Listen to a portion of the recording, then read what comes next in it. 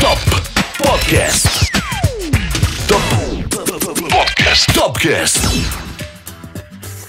Dobrodošli u novo izdanje Topcasta. Moj današnji gost je dr. Milivoj Jovančević. Dobar dan i dobrodošli. Bolje vas našli, dobar dan. Negdje sam naišao na podatak da vas se smatra e, zvijezdom među pedijatrima.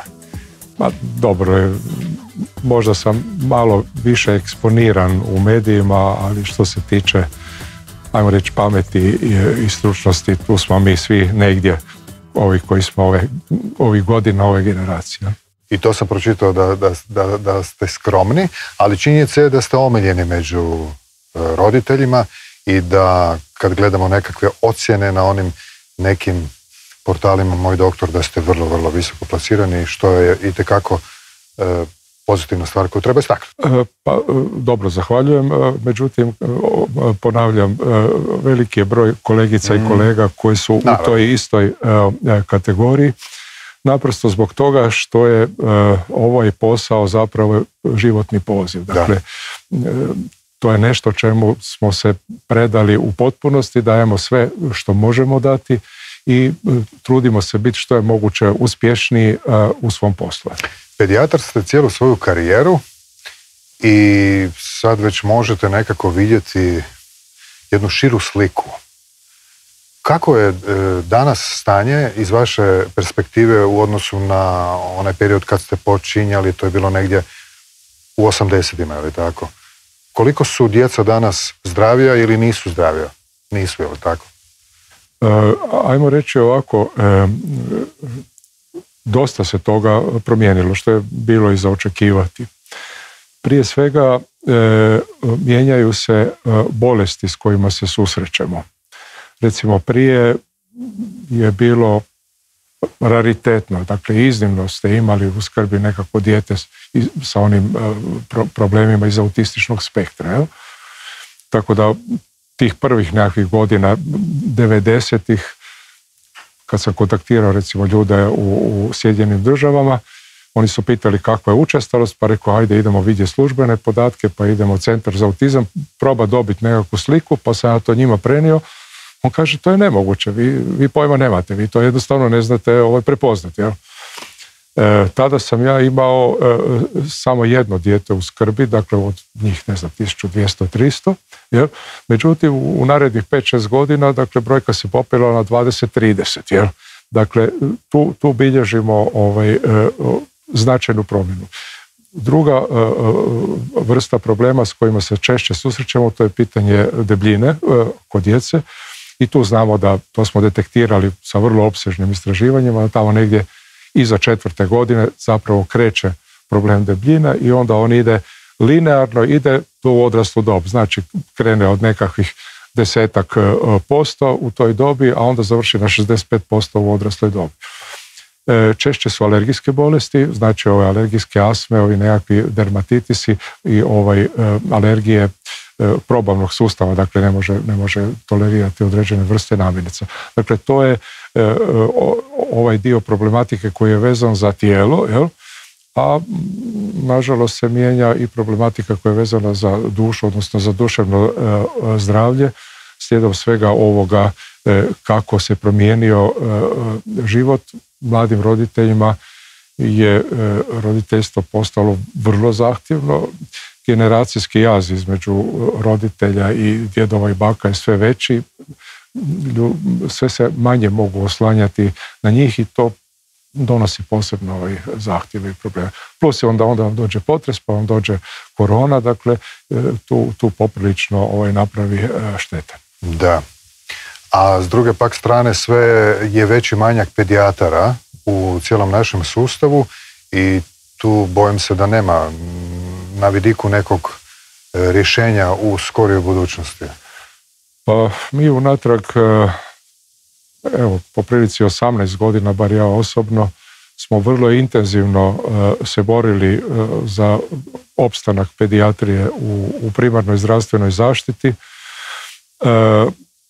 I to sve sa argumentima koji su utemeljeni na, na, na vrlo konkretnim podacima. Dakle, tu je u pitanju čista matematika. Dakle, tu nema pitanje procjene. Mi znamo koliko ima djece, znamo koliko ima pedijatara, znamo koje su e, dobi, koliko godišnjih odlazi što kažemo prirodni odljev zbog dobi, a imamo jedan dio koji odlazi i prije vremena zbog bolesti ili umru.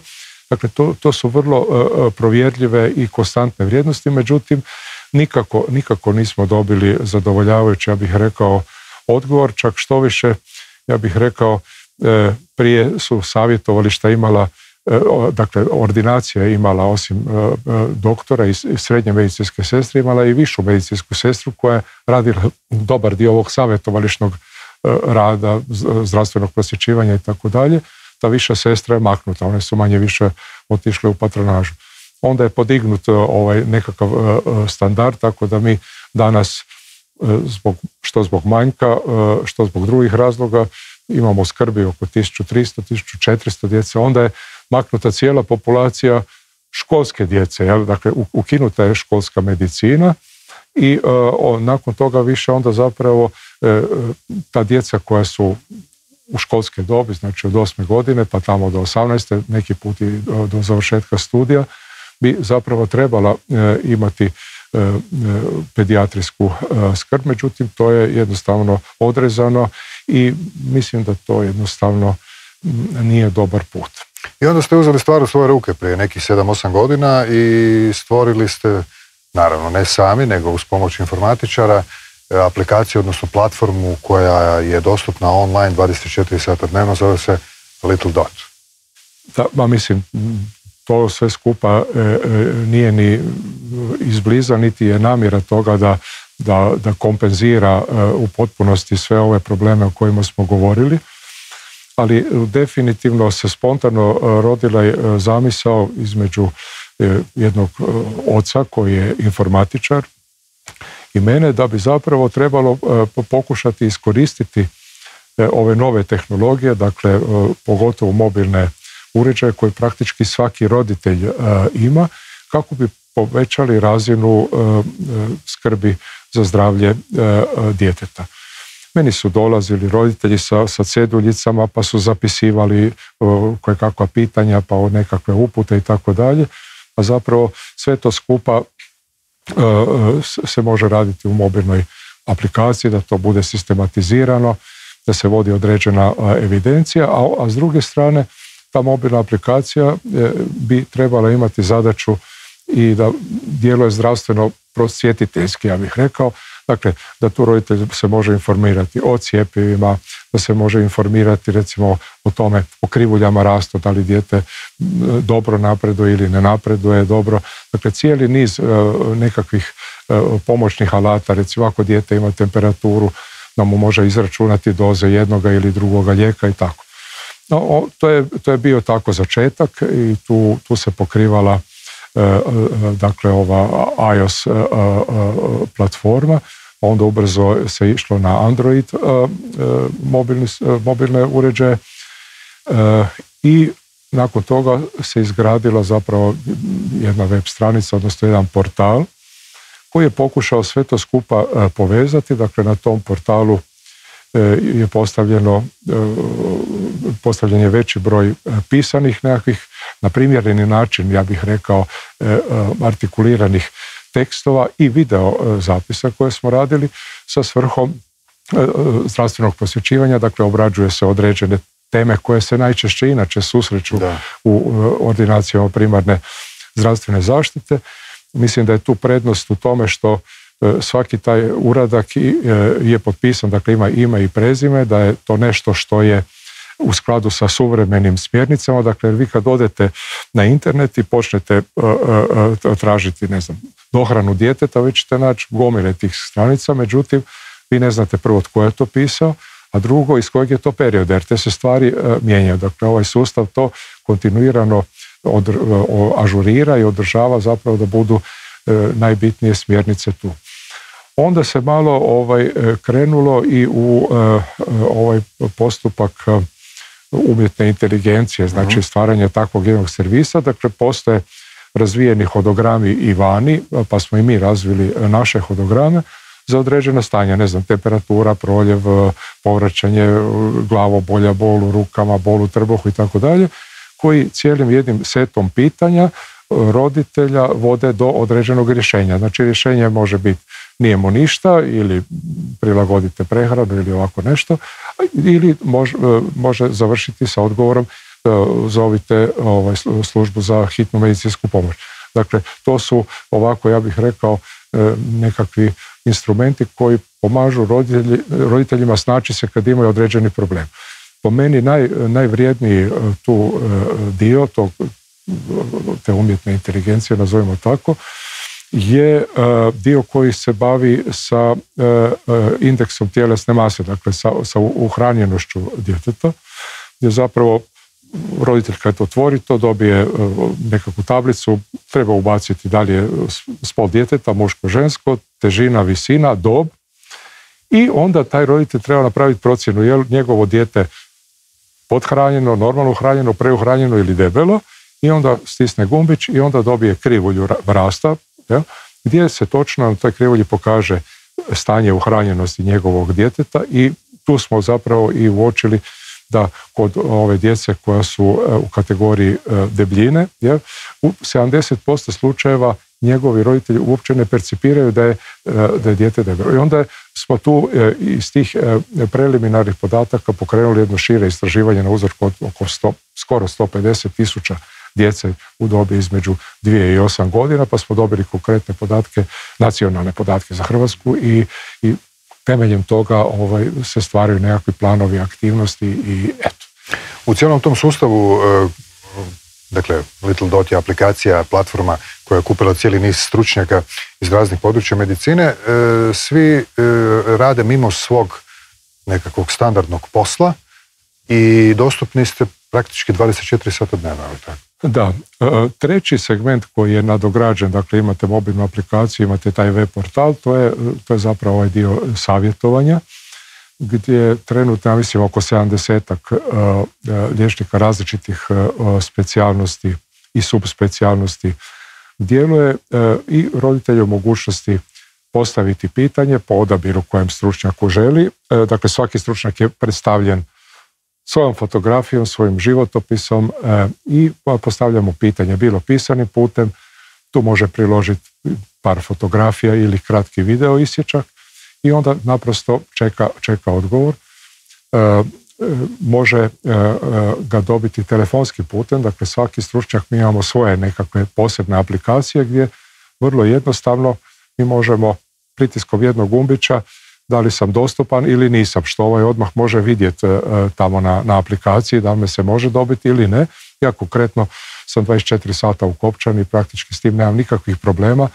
E, e, u mirovini sam, a noću mi se dogodilo dva ili tri puta svega da su me roditelji probudili i sasvim zapravo su bila opravdana stanja tako da mogu reći da su iskustva e, e, izvrsna. E, znači može telefonski dobiti i treće, to je unazad, sad će biti dvije godine, je mogućnost video poziva.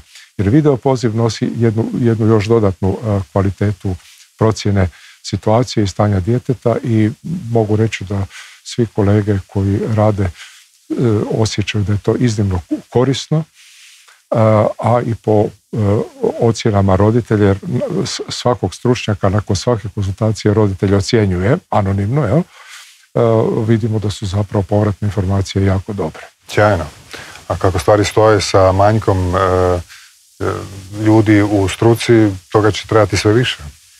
Pa mi vidimo zapravo da je jedan veliki dio roditelja iz područja gdje nije dovoljna pokrivenost sa pedijatrijskom skrbi, znači Dalmatinsko zaleđe, pa vidimo ovaj, e, e, otoke.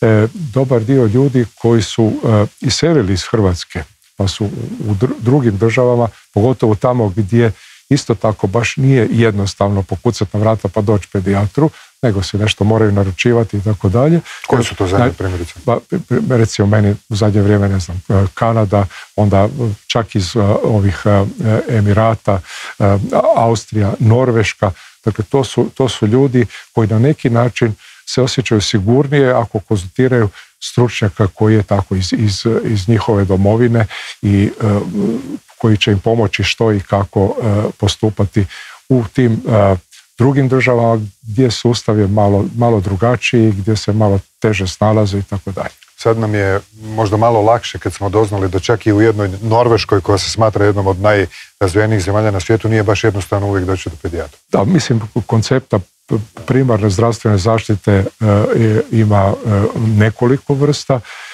i, i definitivno u određenim tim konceptima specijalist pedijatar nije u, na razini primarne zdravstvene zaštite.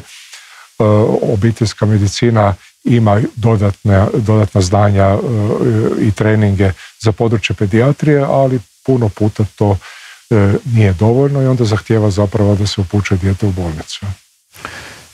E, imate li neku statistiku koliko je u tih sedam, osam godina koliko već postojite, koliko ste e, imali tako nekakvih intervencija ili možda koliki broj e, građana, roditelja se ukupno do sada javio?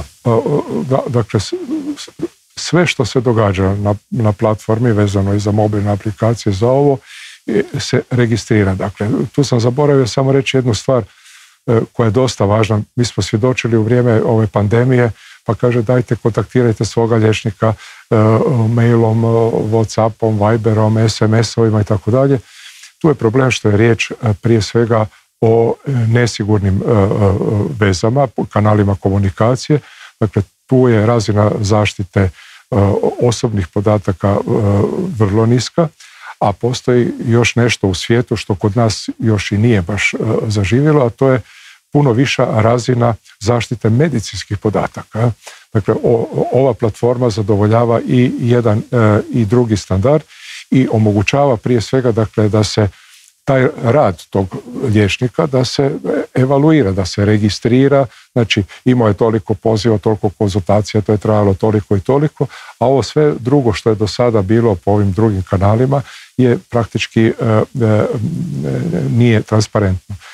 I u slučaju nekakve forenzike zapravo onda vi e, e, iz ovo sve što se događa na platformi je kriptirano, ali za potrebe forenzike, znači nekakvog sudskog vještačenja i tako dalje, svaki taj podatak se može izvući. Tu se onda još uz to kontinuirano prate ovi poslovni, ja bih rekao, e, procesi o kojima ja puno ne znam, ja sam samo jedan od ovih konzultanata, ali recimo znam da je negdje oko 40 tisuća e, korisnika e, e, te platforme. Ja mogu reći da sam imao preko 2000, mislim 2200 ovih samo pisanih konzultacija u proteklih, ne znam, dve, tri godine, tako da je to ovako dosta ja bih rekao dosta, dosta jedan živi organizam i po nekakvim procjenama e, kolega, njih preko 87 i nešto posto, je zapravo e, jasno iskazalo da potreba za tako nečim postoji i da korist postoji. Jer svi, svi smo se mi prije bojali kako ćeš ti moći nešto reći o djetetu ako ga ne vidiš, ne popipaš i tako dalje. Međutim, zapravo se pokazalo i to pokazuju i svjetska e, iskustva i, trendovi koji su u eksploziji sa ovakvim zapravo servisima, e, da treba koristiti prednosti ovih novih tehnologija, e, naravno uz, uz strogu kontrolu onoga što se zbiva, e, postupke kako ćeš ti savjetovati ako, ako ne vidiš dijete. Dakle, ako iz onoga što od podataka od roditelja dobiješ postoji jedan promil, znači jedna tisućinka izgleda da je to nešto što bi moglo život recimo ugrožavati dijete, ti moraš postupati kao da je to u pitanju dok se to e, ne isključi. Ne, ne, ne može se ići po onom principu, joj pa vjerojatno nije, tak sam imao ja sto djece pa nije bilo ništa. To, to ništa ne vredi jer tu se onda događaju e, velike pogreške i, i tu zapravo e, je dijete u velikoj opasnosti. Evo, roditelji, čuli ste, ako do sada niste znali za aplikaciju Little Dot, krajnje je vrijeme da je skinete i da je ako treba upotrijebite, jer ovaj, naš razgovor, zahvaljujući YouTube-u, ide u sve dijelove svijeta, pa čak i tamo negdje gdje nisu dostupni pedijatri, pa evo, e, bit će nam drago ako ćemo nekome pomoći na ovaj način. Doktor Javančević, hvala vam na gostovanju i puno sreće u danjem radu. Hvala vam lijepa na vašem zanimanju i na prilici da o tome porazgovaram. Top Podcast. Top Podcast. Topcast.